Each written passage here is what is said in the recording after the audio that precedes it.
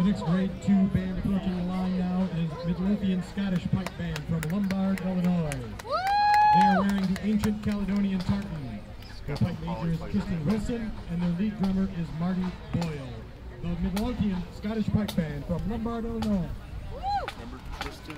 Was it Tristan? Yeah, He judged you, remember? yeah, he did. He must be their pipe major. Yes.